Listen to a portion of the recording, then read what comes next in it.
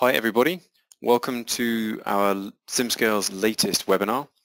Uh, my name is John Wild and today I'm joined also by Hamoda Youssef from the Qatar Green Building Council. And we wanted to talk to you today about thermal comfort within buildings and how that connects to energy efficiency. Hello everyone. Uh, thank you John for the um, introduction and thanks for uh, working us again once again to do the um, another webinar. I'm glad to be with you and hopefully it will be of an added value to our attendees. Yeah, I hope so too. I'd also just noticed how amazing your photo is in comparison to my fuzzy one. Um, I, I, don't know if you wanted to give a, a wider kind of introduction um, about who you are exactly, Hamoda. You're more than welcome to. So um, I'm um, a sustainability advocate and, and, consultant for the past 10 plus years uh, with architecture background. So I'm an architect um, in principle, but has been getting into sustainability as a wider context uh, since then. Um, recent, over the past six years, I've been working in the Qatar Green Building Council under different roles, but primarily to promote the education and raise uh, awareness of sustainability and how it can be um, integrated in different aspects, not just buildings, but corporate sustainability and uh, outreach and community engagement is something that now is highly intertwined of, of, with what we do. Uh, so I'm a well and LEED faculty as well by um, by practice, uh, and it's something that added lots to my um, I think to my background discussions when we speak with everyone later. Perfect, thank you. And I am VP of Customer Success here with SimScale, so running the pre and post-sales engineering teams as well as the product management team. And I'm also right now product manager for thermal comfort. So I'm very interested in thermal comfort and how SimScale can help our customers and future customers to design better buildings and especially more efficient and green buildings. A, a quick bit of background on who SimScale, who, what SimScale is and who we are fundamentally. So um, we're now nearly eight years old. We're getting pretty global, so we have our headquarters here in Munich in Germany where I'm based, and we have a couple of offices also in the US this actually says 80 plus employees. I think we're getting close to 90 and pretty soon I think going to cross 100. L hundreds of thousands of users worldwide. Um, and honestly, it's really amazing for me to see how many people are online at any one time and utilizing SimScale is pretty um, fantastic and exciting to see.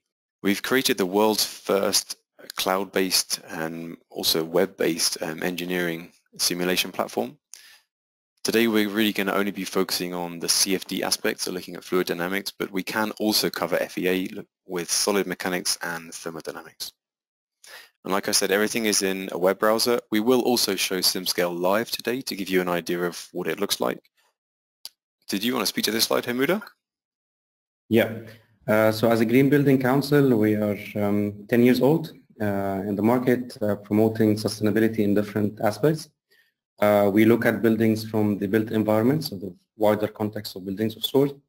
Uh, and through the years, we have developed uh, several um, programs and um, that tackle sustainability from different uh, points of view and that speak to the right audience of sort.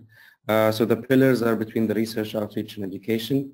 In, in between all of these, you see our outreach programs like the Green Building Conference or Sustainability Awards Sustainability Week, and then technical programs like um, promoting things like well uh, building standards, eco schools, um, better places for people with the World Green Building Council, and eco campus and green key for hospitality. Uh, so that's in a very nutshell um, what we do, but of course you can find more information on our website. Cool, thank you. It's also a topic really close to my heart. If I think if I wasn't working here, I would be doing something that was solely to do with um, green energy and sustainability. Very interesting. Okay, so today um, we're going to focus on thermal comfort and energy efficiency, um, actually in a smaller um, office building than the large-scale mall that you see here. Um, Hamuda is going to kick off with a, a, kind of general introduction on thermal comfort and energy efficiency in LEED buildings, and then I'll take over talking about how we assess thermal comfort and what some of the um, abbreviations mean. Then we'll dig into more specifically how SimScale can help you evaluate thermal comfort and then with a test case. We'll run through a few iterations trying to kind of optimize our design as we progress to make sure that we, in the end, end up with a comfortable atmosphere for everybody. And then we'll kind of wrap up and we have some time for questions and answers at the end. There is also a questions um, window. So at any point, if you have questions and you would like to ask them, just type away. If they're relevant, right then we'll speak to them or we might kind of hold a few towards the end of the presentation. Okay, so at this point, I'll hand over to Hamoda, who's going to share his own screen and walk through a presentation as well. Yes. Perfect. Yep. Okay. Fantastic. Uh, so let's get started. Uh, so to give more time for the questions and to look at the simulations later on. So what I will do over the next few minutes is to just to set the stage for some of the principles and uh, foundation information about the thermal comfort and uh, energy efficiency. Uh, our reference mainly will be for two rating systems when it comes to green buildings. the WELL Building Standard and LEED uh, building uh, uh, certification system. Um, so something to note is that we spend more than 90% of our time indoor. Uh, and in a region like ours, in the Middle East, this number goes higher, up to 95%. Uh, so that's why putting time and effort into understanding how to achieve our thermal comfort to enhance our air quality is something crucial uh, because this is our environment. We don't spend much of time anymore outdoors as we used to do. Uh, so that gives the importance of what we're doing and, and why we should focus that. If you look into several uh, rating systems and LEED as an example, you will find when things capture the indoor environmental quality, there are several things that tackle uh, thermal comfort and indoor air quality. Uh, although the focus today will be on thermal comfort, but we will touch base on air quality because it, this is the, I would say, the first step uh, into ensuring that we have the right air quality in the space and then building on that to reach the thermal comfort intended. so starting with thermal comfort, uh, we need to understand what's thermal comfort in the first place.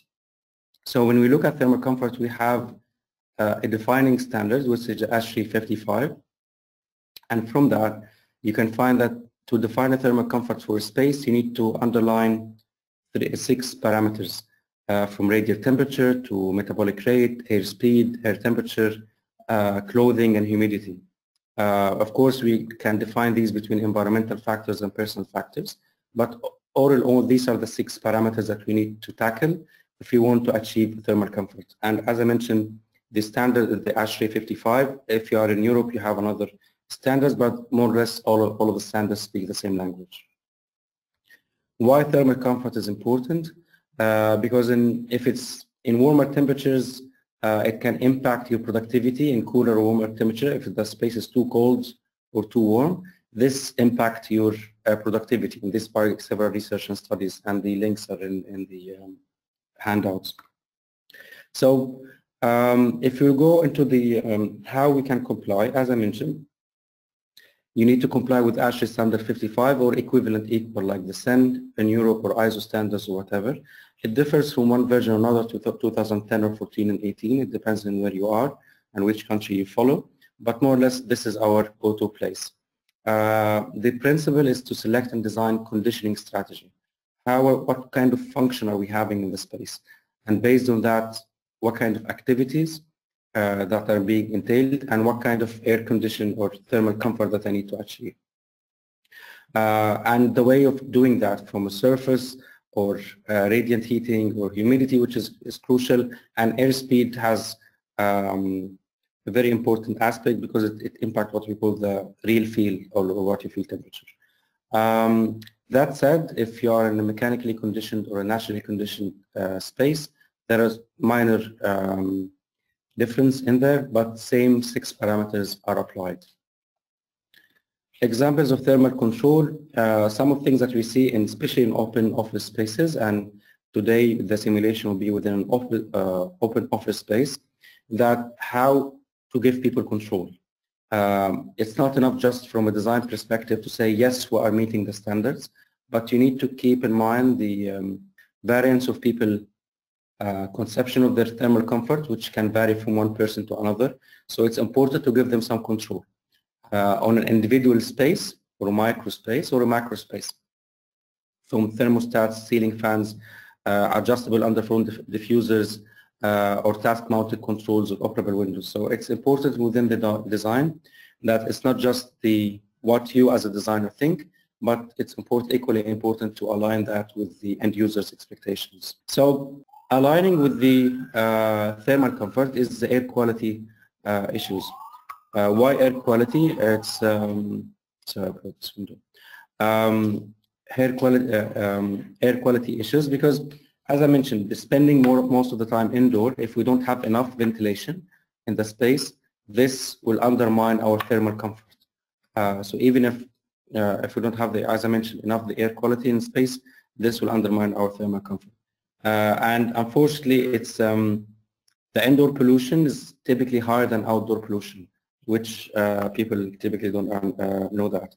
Um, our standards as well, in doing that, we have, it depends on if, if you have a mechanical, natural, mixed mode, the American standard is the ASHRAE 62.1, and you have equivalent European standards um, in, in different places. That's for the mechanical ventilated spaces, and for the natural ventilated spaces, we have the ASHRAE, again, ASHRAE 62, but, and we have the CIBSE um, standard as well.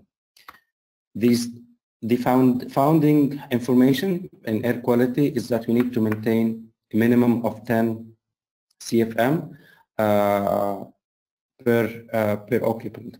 So that's um, exchange of air per minute. Uh, that's the number per occupant we need to maintain the minimum. And then it depends on the function. You can increase more.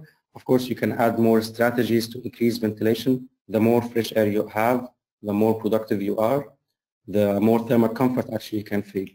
Uh, so in between, I would say these quick um, founding concepts, that's where we need to, to uh, understand where, why do we need the simulation to do. Because we have different parameters between the six parameters of thermal comfort, the minimum requirements of indoor air quality, coupling this, if we look at synergies, uh, with the energy mandates. Um, so speaking of energy, lots of people think that a green building is just energy and water efficient. Uh, but what we always say that it's energy and water efficient after complying with the standard of providing a proper thermal comfort. So first you need to establish a good air quality. First you need to establish good thermal comfort and then find ways of doing these while reducing your energy demand or being more efficient. So don't start by saying, I need to be energy efficient, because you can't do that if you lose your occupant satisfaction or their comfort in, in, in, in the middle. So today we will just focus in the in how to reduce energy demand um, and again some principles uh, looking at LEED uh, as as a reference. We have several categories and credits that tackle the um, the topic between establishing minimum energy performance and optimizing the energy performance later, and a number of other uh, credits that are not of our focus for today. So quickly, um, to reduce our energy demand, we have a couple of strategies. Uh, from establishing your design and energy goals, as I mentioned, to ensure thermal comfort, optimize building orientation, form and size, uh, maximizing shading potential, using nature, nature from daylight and ventilation, uh, properly insulating uh, using uh, efficient building envelope and that's again a good use for your simulation to try and test several materials and see what's more optimized for use and later on during operation monitor consumption. I'll quickly go through a couple of sketches uh, but you can see the handouts later on. Um, but orientation and building understanding the basic principle of sun path, movement, summer, winter wind, uh, how to um, maximize in the prevailing wind if it's cool in summer and if it's warm in winter, um, positioning of the uh, air movement in the space, and utilizing different shading potentials in there. So letting in the daylight without the thermal load if it's summertime, and vice versa if it's wintertime. Um, so in between this, what, what we call the passive techniques, um, you can see the underlying principle of enhancing our thermal comfort in the space uh, and moving with the principle, uh, basic principles of positive pressure, negative pressure, cold air go down, hot air goes up. So these kind of air movement principles that again uh, impact our uh, thermal comfort in space. Um, I will not take much of time, but there are lots of strategies to enhance uh, and ensure our energy efficiency without undermining um, thermal comfort. Uh, but that's mostly it from my end. And I will get, uh, now it's your end, uh, Joe, to take it further. Thank you. Cool. Thank you very much. Um, I'll now work doubly fast. um, we, yeah, thanks, for, thanks for uh, running through that. I'll also, um, I'm going to try and kind of reflect on what you talked about as well as we go. I think there's an interesting um, aspect of our design decision that we did incorrectly, and I'll explain why in a second. So what I wanted to do is talk a little bit about kind of echoing what you're doing or mirroring what is thermal comfort, but digging a little bit more into, I think, what each of these six variables mean. Um, I mean, a long time ago, when I first got introduced to this, uh, everyone talked about predicted mean vote and percentage of people dissatisfied, and I had no clue what it meant. I mean, this was really years ago now, but I think still it um, is nice to show this graph, and it helps to explain what they both mean. So if you look at the two scales on the graph, um, you can see along the bottom that you've got the predicted mean vote, and we want to aim as close as to zero as we can, but between plus and minus, um, or minus 0.5 and plus 0.5, that's like the happily sitting within the ASHRAE standard. Um, if we get outside of that, we get too cold or too hot, and then the percentage of people dissatisfied will increase. So we want to really kind of aim for that middle section. Within CFD, we're actually computing a few different values. So on the left-hand side, we calculate the air temperature, and that will obviously be based on the supply coming in, and then whatever happens um, with the heat sources in the room, be that people, computers, um, even solar radiation through the window. We'll take into account mean radiant temperature and the airspeed. And then the, the values on the right-hand side that we input into the CFD calculation are the clothing coefficient, metabolic rate, and air humidity. And I think it's worth also mentioning with humidity, obviously that could change throughout the study. Um, in SimScale, we assume a specific fixed value which you can choose. Um, but it, I think it's important to mention, right, that it, it, that it could change, so it shouldn't necessarily always be something that you um, input as a single point. Okay, so digging into each of those a little bit more, um, the clothing coefficient, um, basically we actually have missed off the left-hand side of the scale, so someone that's totally naked has a clothing coefficient of zero, and that's really the starting point. Um, and then as we kind of go along, most people working in offices are probably going to be sitting around the 1 to 1.3 or 4 or so. Um, and then obviously in the colder environments, we continue on upwards throughout the scale. Um, metabolic rate is the amount of energy that we're burning, so the chemical reactions in our body happening and we're giving off heat. And someone who is sitting um, they have a, a, value of one and obviously that kind of increases as we go. And again we we aim for somewhere between like one and 1.1 or so for someone who's working in an office. Um, and obviously if we were looking at different types of rooms like gym halls and stuff that um, value would increase as we go upwards through the scale of movement. We also take into account airspeed and that can be that's essentially the the magnitude of the flow or the the, the velocity of the flow anywhere around our occupants. That's where we're really interested. You'll see in our study later that we have airspeed um, quite fast coming out of the diffuser, but along the ceiling. So it's okay that it's fast. It's really when we're looking at the airspeed, and this is what feeds into thermal comfort, the airspeed very close to our people that we really care about. And we want that to stay uh, beneath around um, 0.8 meters a second. And then the other two values that come into it as well are humidity. So obviously totally dry air has a humidity of zero and totally wet air where you would have mist or fog um, has a humidity of 100.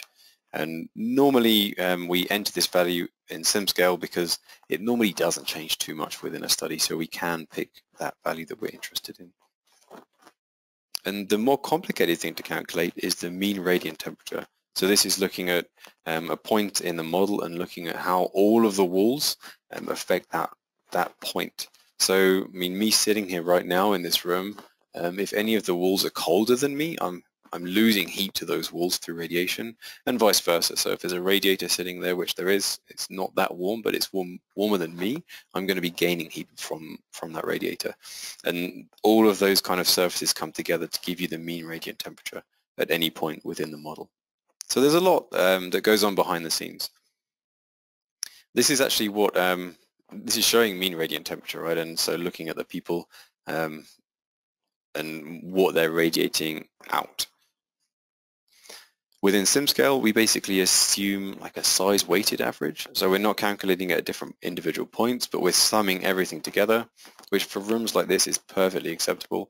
Um, it's only when you have very strange organic shapes that that, tend, that maybe isn't the most desirable approach, but for, for most applications it's pretty, pretty okay.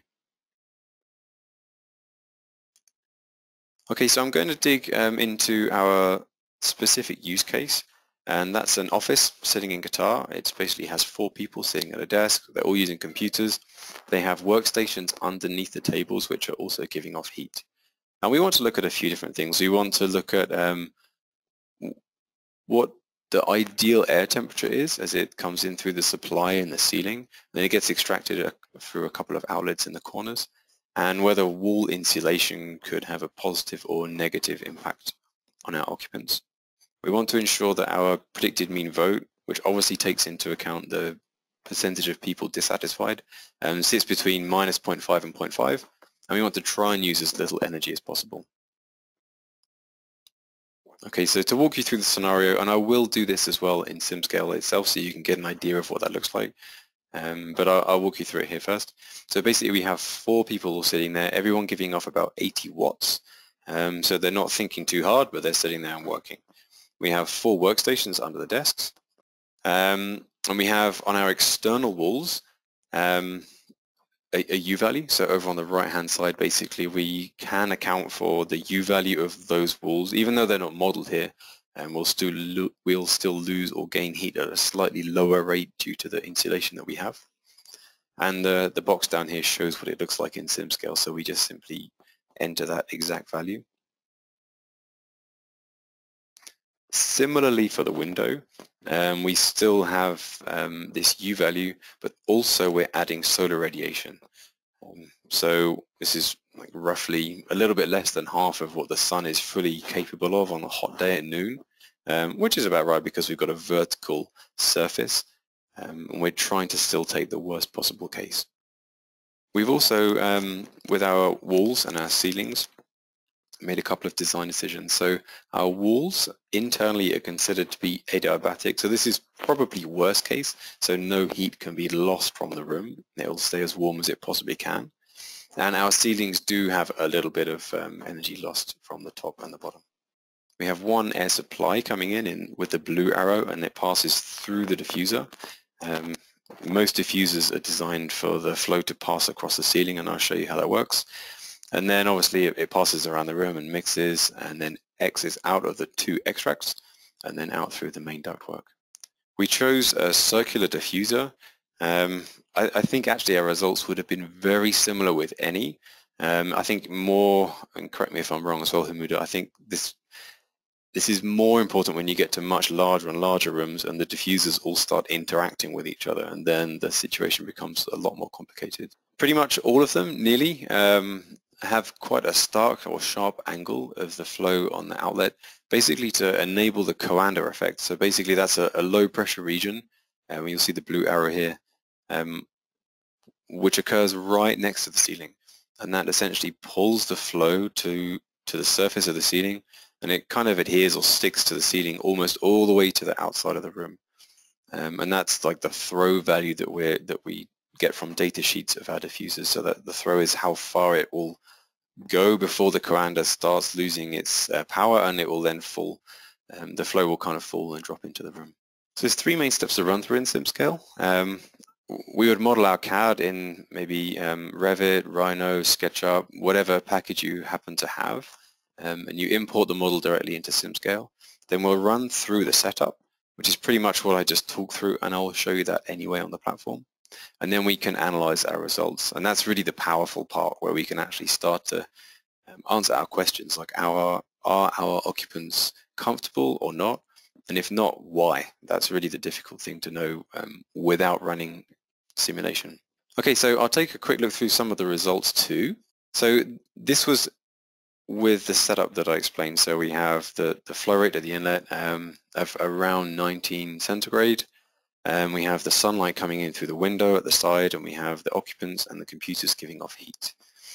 And we are not within where we would like to be. So our occupants should be in this kind of happy green region between minus 0.5 and 0.5, they're actually way away from there, often four times as high, so in the value of nearer to 2, which is definitely going to be very, very uncomfortable for our occupants. And so, so far we, we know that our baseline design is not okay.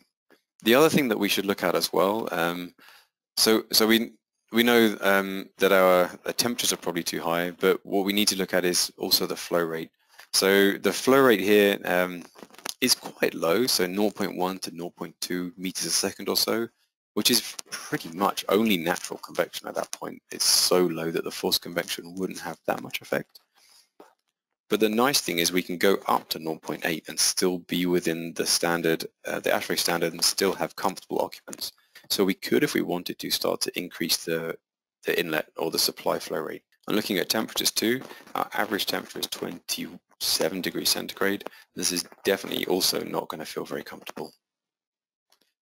And you'll see as well, um, and this obviously makes sense, that on the left-hand side here, nearer the window, um, where the radiation is coming in directly, our occupants are going to be slightly warmer than if they're further away from any of the heat sources. What we thought maybe is interesting to look at, and this was the thing I think we shouldn't have done in this order. So Hamoda, I really apologize because we're working a little upside down. Um, but what we should do, and you're very correct, we should look to optimize for thermal comfort first, and then look for energy gains after. Um, actually, we're doing it a little um, backwards, but I think for this example, it's not too bad. So we basically, we can look at how much energy is basically inputted um, through the room, so looking at the in an outlet um, and having a, a, quick comparison to see how much heat we uh, gain. And obviously we can validate how much of that is entering through the window. So the, the occupants and the desktops or the, the workstations, all of that energy is pretty fixed. We can't do anything. And what we can change is the energy that comes in through the walls and the window. So what we thought we would try is to, to choose different walls and choose different windows. So we've moved from um, no insulation to a thick layer of insulation between bricks on the walls. And on the window, moving from double to triple glazing. Obviously, this adds a lot to the cost, so we want to make sure that it's, it's worth it, really.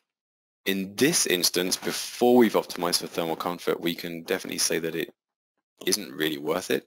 Um, so the average temperature drops by around half a degree centigrade, not very significant. And you can see that the occupants, their um, predicted mean vote does change a little bit, so they're all a little bit more comfortable, um, but still not going to be particularly happy working in this room. Um, like I said though, the flow rate is quite low, so it's 0.1 or 0.2. So really what we should have done, I think at the very beginning, is to ramp up the flow rate and to see if we can, um, without putting extra power into the chiller unit outside and kind of trying to bring down our 42 degrees um, ambient air to something sensible, um, we could have just um, spun up the fan a little bit more and pushed some more air in to see if um, a higher airspeed and obviously more changes per hour would have had an impact. One thing I thought is interesting though is even though this isn't that useful, um, it's still an energy saving and that's pretty important. So so we do still save energy, um, assuming that we want to get to the same point. So it does kind of at least highlight that and I guess this needs to then be some kind of trade-off. Is it worth the additional cost in insulation and double to triple glazing versus what we would save in running the, the chillers throughout the year? Okay, so what we then did is what I think we should have done in the first place is look at, um, well, two things actually. One is cool down the inlet a little bit, so going from 19 to 18 degrees. Um, that's a pretty linear scale, expectedly so, so we've got everyone is a little bit more comfortable um, and the average temperature has dropped a little bit, but actually our occupants are still quite uncomfortable. So from this point on, we kind of have two options, right? So the second one, which is what we won't do, um, is lower the supply temperature even further. Um, while we have quite low flow in the room, actually there's very little value in doing this. We're not going to gain really anything because um, we want more more flow coming through the room to kind of pull more of that heat and more of that energy out of the room and um, out into the atmosphere or wherever it might actually go. So we're not going to take the second option, but what we will do is take the first option. So we can increase the air supply, um, maybe even to like two or four times what it is right now, and we would still be well within the ASHRAE standard. Hamoda, by the way, if there's anything you want to add as I'm going, feel free to jump in. You're, you're more than welcome. No, it's pretty good. I don't want to interrupt the, the, the flow of thoughts so far. okay, no problem. I don't mind, but fantastic.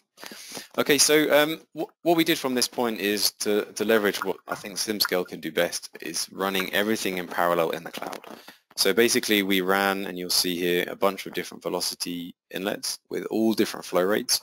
So we kept the temperature the same, ran multiple different flow rates, and then we could start to look at a comparison between the results. And what I want to do is very quickly show you how I did that. So basically, I'm going to just jump to SimScale for maybe five minutes at the most just to kind of explain what we can see here and how we how we get to these results and how we can do these comparisons in the cloud. So starting off with the results, this is our room and we can spin it around and kind of interrogate and see what is happening. If we want to, we can pick specific values. So I can pick this person and say, okay, tell me the PMV right here on this person. This looks pretty bad. And it's at 1.86.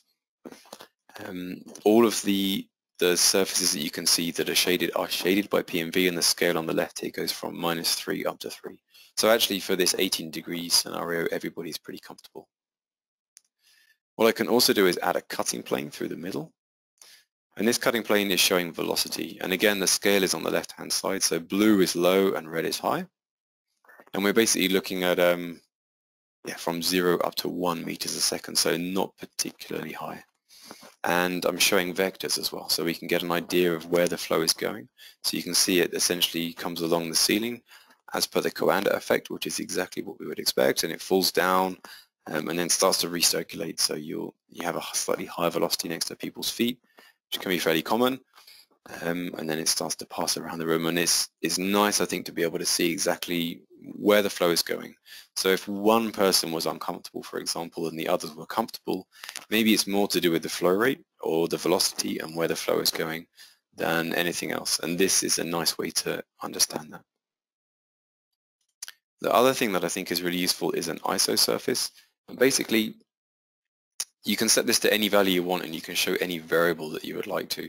I'm just going to turn off the floor. I think it'll help. So basically on this ISO surface, I'm looking at velocity. So I'm looking at all velocities at 0.3 meters a second. And it's also shaded by pressure. And we could maybe change that to temperature or whatever else we wanted to. And I like this because it's, um, if we have an imbalance in the flow and we don't really know where the flow is going inside, we can very quickly see like spots of high or low velocity air within the room and get an idea of, okay, maybe there's a jet here, you know, and we didn't know that there was a jet falling from this diffuser onto this person. So this is, we either need to change the design or maybe move the furniture, right, so nobody sits in this spot. So we could optimize in a slightly different way. Uh, the last thing I'll do is just quickly walk through how we got to this point. So showing the tree on the left, we first start off with importing our geometry up here and you can basically import just by dragging and dropping your file. And then we run top to bottom to set the model up. So we have our air material, we have a bunch of different boundary conditions, and I'll say pick maybe the window to have a quick look at how we did it. Um, so this is the window over here, and you'll see it highlighted on the screen. And we can basically now enter our data. Um, so we've got here our U value. Here is the radiation from the sun. Um, and that's that's pretty much it. So that's our window. And we have over here our velocity inlet. And again, you can see it highlighted here. And if we wanted to, we could change this velocity inlet. And I think this is really what I wanted to, to talk about. Um, so I'll, I'll, explain just the rest of the setup and then I'll return to this. So really, we, we set up our humans, our windows, our computers, all of the things that are either um, contributing to the flow rate or adding or removing heat from our model, all of the things that we know. And then um, we simply come down here and press the plus sign and that will start a simulation.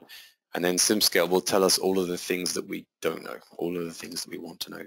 So what I could do here is say, okay, like tell me if I have a one meter a second or cubic meter a second um, flow rate of my inlet.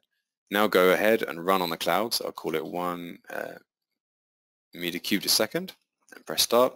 And that will now go off to the cloud and run and it will appear down here on the left hand side and once it's complete I can start to dig into the results and compare between my different designs. And that is what I want to do in the, the remainder of the presentation. So I can add a couple of things up here. Yeah, please. Um, yes, so something to consider when setting up your options. As we clearly seen, uh, like if we're just centering or focusing on energy efficiency and just need to add more insulation or have go for triple glazing while ignoring your thermal requirements, you will be losing anyway.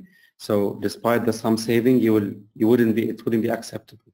Um, additionally, um, be careful when increasing the velocity, the air velocity of the acoustics, uh, because still, even if we look at now for thermal comfort, but acoustic comfort is something important for the users. Um, so ramping up the velocity is not the only solution, as long as you couple it with proper consideration for the acoustics uh, requirements. Uh, so something to keep in mind as we look into our parameters and where should we optimize the space uh, for the end user comfort overall. Yeah, that's a good point. Really interesting too. Um, yeah, definitely a fair point. Do you have any experience with, um, by the way, I think we had around three meters a second through the ductwork on the inlet, and that was obviously the highest because it's the, the smallest um, cross-sectional area. Do you have any experience with what the maximum um, velocities should be before we start to um, get affected by uh, or negatively affected by acoustics? It varies, it varies from the cross-section of the ductwork uh, because bigger ones can have higher speed and smaller ones can make more noise. Uh, so it varies. I, I, don't want to give numbers because it varies from case by case uh, because it's in relation with the um, cross-section of the um, the ductwork and the duct insulation as well. Uh, ductwork insulation, even if you speed it up, but you have the proper insulation, I mean the acoustic insulation, it will it will bring down the acoustics. So it's it need to be added uh, in line, um, but there is no right number. I don't want to, to put the right number there because there is no right number. It, it's case by case. Yeah, totally fine. Um, I thought it was just interesting to ask, um, and I, I, agree. It must be case by case. I mean, you could do anything to insulate um, from sound as well. Just interesting. Thanks. Thanks for sharing. Okay, so to kind of um, wrap up our, our, journey of optimizing this room for thermal comfort, um, what we did, and we actually didn't look at acoustics, but yeah, good point. We ran um, a couple of different flow rates. Actually, we ran a whole bunch, but I, am just showing a couple at the end. And that's the really cool thing about, I think, for me at least, using SimScale and pushing everything in parallel to the cloud, that we can run a whole different array of flow rates and get an understanding of our, our exact perfect one, you know, rather than just kind of running one or two. So we can run a bunch and then compare them all and decide which one is our optimum. So these um, with like two and a half to three times the flow speed, um, still not too crazy, but a little bit kind of higher flow speed within the room. Getting into the region where you can see I've highlighted over here on the right, of maybe 0.3, potentially 0.4 meters a second just in front of the face of that person there. Um, still from a comfort perspective, totally acceptable. So that's a really good starting point. And then we can actually also take a look at thermal comfort and see if, you know, now everybody is happy. And actually we're amazingly very close to zero for nearly everybody. So the spectrum kind of goes, I guess, a little bit from zero up to less than 0.5. So now we've, with both of these designs, so there's the, the, the lower speed on the, the left and the even higher speed on the right, um, it gives you an idea of how, how we kind of, that we're now in the right kind of range. So the nice thing is that what we know, what we can tell is that we don't need to have three times the flow speed. Actually two and a half times still leaves all of our occupants, this is the most uncomfortable occupant here on the, the far left, but still leaves everybody in a thermally comfortable situation. So we don't need to waste energy on um, ramping up the, the flow speed any higher. Um, there, there is a question I think that's probably worth asking. Um, if we run a parametric study, can we like compare everything side by side right now in SimScale? Um, actually, that's something we're looking at pretty aggressively right now because I appreciate that that is hugely, hugely valuable. So at the moment, no, you can't compare um, side-by-side designs, but we definitely want to be there very soon because what I imagine, at least in my mind, is, okay, I'll go back one slide, looking at these exact two plots side by side on SimScale um, and if you add a coupling in one, you see it in the other one, so you can get a very quick comparison. Um, right now, what I tend to do, and I'll swap back really quickly into SimScale, is um, add result controls. So what I'll do is pick, say, probe points at different points in the model. Um, you'll see a few different ones listed here. You'll see on the inside. Um, and these you can compare. So very quickly I can say, okay, show me the, the temperature or a comfort at different points in the model. So that's kind of how we're doing it right now. Um, yeah, and it works. It works pretty well as it is. Uh, okay, I'm going to wrap up and then I think I'll, I'll talk to some of the other questions. So just some of the, the kind of key learnings and a, a quick summary. So we've basically run through what we would do um, to assess the thermal comfort of a space. So we've got an idea of how much energy we could save. We've got an idea of what cooling strategies definitely don't work and which definitely do. Um, and we've learned, I guess, that CFDs are a, really valuable tool to assess thermal comfort. So we haven't actually had to do any physical real-world testing. Um, just from a CAD model, we can do some very quick design studies to get an understanding of um, how successful this design will be we can understand the energy consumption, and we can really importantly optimize our design. So we could even change the geometry if we wanted to. So if we figured out that maybe we need two diffusers um, or different type of diffuser, if perhaps we've got like some interaction between the flow and somehow it's making a jet in the room, you know, we can start to move things around to optimize for the, the, the best flow rate and we can look at different types of insulation, um, changing the, the actual boundary conditions like the flow speeds of the supply and return rates um, and the temperatures too. So there's a lot of different things that we can try um, to, to get towards our optimum design. Okay, um, thank you very much for listening and thank you as well for speaking and contributing Hamoda. That was really, really interesting. I think at this point we can take some questions. Maybe you have some for me, Hamoda, or the other way around. And there's also a bunch to talk through that we've been asked from the, the audience. Yeah, it's it's been really interesting. And as I mentioned, to reiterate on the um, best practices, once once we reach the stage where similar to what you've shown that this is the optimal thermal comfort, uh, now will be the step where to see how to optimize energy efficiency, um, passively at least. So if no more efficiency can be tackled from the HVAC system that it's already optimized from delivering the uh, cooling demand, the speed and everything. This will be now the step to start to see what's the maximum or the optimum uh, insulation that I can add for the walls or for the glazing, for instance. Uh, because we don't want people to, some people think that if you go for triple glazing, it will be better. Best, it's not always better yes, it's better on the long run, but it might add lots of added costs or capital costs that you don't need in the first place. So once you optimize the space from an end user perspective, try to take the similar steps of testing how to step by step enhance your, your insulation, enhance your energy efficiency overall, uh, looking into your light fixtures, you're looking at your equipments, how to decrease the demand, the thermal demand in the first place passively from the building envelope. Uh, building the ceiling height will, will has a good factor, can have a good factor there. Um, and then looking into your HVAC side of how can we make the uh, equipment more efficient, how can we have uh, variable speeds or, or VRVs that can uh, reflect based on the demand and the capacity of the room. If in some cases maybe we don't have the room always with four people in, in space. So we don't want to spend more energy in providing cooling for four people while we only have one or two. So responding to these kind of scenarios uh, will provide uh, um, better efficiency over the long run and during the operation. So it's something to consider.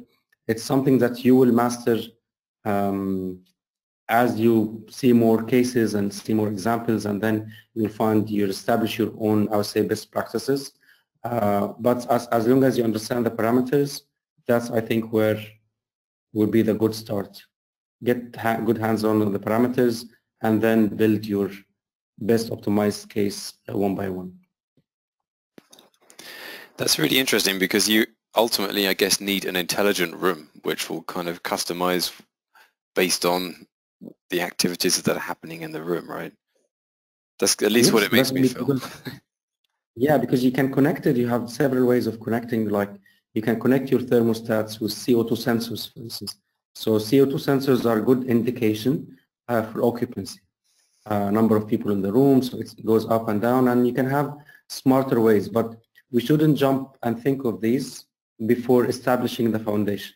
The cheapest, I would say, the um, low-cost options, uh, like the uh, thermal insulation, proper insulation, uh, uh, um, optimizing the thermal comfort overall. Then we can look into more, I would say, more sophisticated solutions that will increase the efficiency, uh, but we can't go there without having the first step in the right place. Yeah, perfect. Thanks. Um, okay, there's a there's a bunch of questions. I guess you can see them too. I'll I'll run through a few. They look quite SimScale specific. Um, but let me let me speak to a couple if that's okay. Um, so one is, can we um, project or predict the locations of potential condensation once the model is uh, once we have the results on screen? And we can. We would um, I would use an ISO surface like before, so that kind of 3D surface that you saw um, and really focused on the dew point of, of the air, right? So if we pick the, the dew point temperature, um, that will give us a, a, a, nice indication at least of where we would like, we are likely to see condensation. Um, if we want to update or change the diffuser design, at the moment, um, the, the best way to do that is through your CAD package. So you would change the diffuser in CAD and then upload it again to SimScale. But you could um, essentially copy the project. So similarly to what we did before uh, when we had things running in parallel, you create a, another copy of the design um, and you update the CAD. So then you have all of the same boundary conditions and materials that um, that are in that are in the project. So you can make sure that you're kind of mirroring or comparing um, apples to apples. So your design or your results will be comparable. I think two more questions that are interesting to talk about. One is um, how long did this take? Um, and what new features are coming over the next few months. So I'll speak to the, the second one first. So how, what new features are coming over the next months? Um, that's the, the most fun thing I think about being here and also being product manager here is that and the fact that we also now have um, a, a, significant funding. So we're really kind of looking to the future with um, with our imagination to to decide, you know, where we can really go and what is most interesting and exciting. So I'm focusing personally right now on thermal comfort, and I'd definitely be very happy to hear from anyone about where what we could develop for thermal comfort. I have a, a list of dozens of features, and I definitely already have a top 10, um, but it would be very interesting to get more data points. So there's, there's always more information out there. So if you want to reach out, um, you're more than welcome to, to share your thoughts on where we could build and how SimScale could develop to best serve you. And the other question was um, how long did it take to run these analyses? So I think more importantly is looking at the bigger picture as well. So how long did it take from CAD to, to getting to a bunch of results? So, I mean, the CAD upload obviously takes only a few seconds, and then the actual setup process that I walk through can take maybe five minutes, maybe 10 if you don't particularly know what you're doing. Um, and then mostly everything else is automated. So at that point, you would just hit the plus button like I did and you set your run underway. Then you can go back and change things. So we could run different flow rates, different heat loads, um, and they all run in parallel and they take roughly an hour or so, maybe at most. Um, but the results update anyway in the background. So even before it's kind of totally finished, after maybe five minutes or six minutes or so, you can already start to look at some results and you'll see something similar to what you see on the right hand side there. So the results will already look pretty well developed. Um, they won't be like 100% accurate, but they'll be getting really in that direction. So it gives you a very quick and clear idea of whether you have a successful design or not. Um, and then once they're all done, obviously you can start to dig in and compare a little bit more. Um, we can work with pretty much any CAD file that you have, anything that, that is essentially of 3D geometry. So, so far I don't think we've um, come up against anyone or any CAD packages we can't work with. Um, sometimes we might even, you know, read out like a a, generic file like a Parasolid, for example, but normally we work with native CAD files, which is normally preferable because you have higher quality um, geometry. Okay, um, is there anything else you wanted to add, Hamoud? Question. I have a question to you. Yeah. So sure. in in the the design showed like one diffuser. Uh, is there any limitation if we have multiple diffusers with different designs or capacities in the room? So we can deal with each one independently or the software has some limitations in there? Yeah, good question. Um, far as I've seen so far, the the only limitation is the cloud, right? Um, and obviously, everyone thinks there's the cloud as some infinite resource, but it, it isn't, right? I mean, they're really finite machines running on the other end. Um, but we run on very large machines and we could run on larger if we ever need to. So no, there isn't really a limit. I mean, we could run I mean, like the, the thing you saw here or the mall that we showed at the beginning. Um, those kind of large scale models, you would simply, um, or SimScale anyway, chooses the computer size that it would, that it thinks it needs automatically. Um, and it would simply scale up to larger and faster machines based on the, um, the, the size of the model that you throw at it. Does that answer your question? Yes. Cool. It's actually really interesting too, I think, because of the the interaction between the different diffusers. Then you can end up with some crazy interesting um, flow patterns that have really unexpected um, effects on your occupant comfort. So it's pretty interesting. I mean, it, it, it goes both ways because um, something that we recommend is to start with a sample space, at least in the early stages. Uh, so it will be quick and you get a quick indication of where you should go. Uh, and we highly, I mean, we typically recommend that you leave the big scale simulation till a bit more developed design has been taken care of. Uh, because you don't want people to spend lots of time in modeling uh, while missing the concept of what should we pick in the first place. Um, should we, we don't want people to think that this is a modeling heavy exercise that they need to do like if I have a thousand square meter or something that I need to model it all, start with the concept small scale that you can replicate and scale up, validate your points, and then as long as you have a good cloud, I think you can scale it up as you see fit. Yeah, exactly, exactly. I think that's actually a good a good point as far as um, learning honestly any kind of simulation package goes. Um, not starting too crazy, like start with something like we had today, get a good understanding. You obviously get quicker feedback because everything runs much faster. Yeah. Um, yeah, then once you understand the fundamentals, then scale up and look at your, your kind of real world large scale models. Yeah, good point. Okay, um, we're nearly um, already through an hour, which went very quickly. Um, I think at this point, um, Hamoud, I'll just say thank you. Um, it was really interesting to talk together, work together, and um, I look forward to doing so in the future. And also thank you to our audience as well for listening. Really great. Thank you very much. And uh, just to add, um, from an, we we will have a continuing education hours for for today's attendees. Everyone who attended at least 40 minutes of the session uh, will receive uh, a LEED uh, continuing education hour. So thank you for for joining us today. Cool. Thank you very much. Until next time. Bye. See you next time. Bye.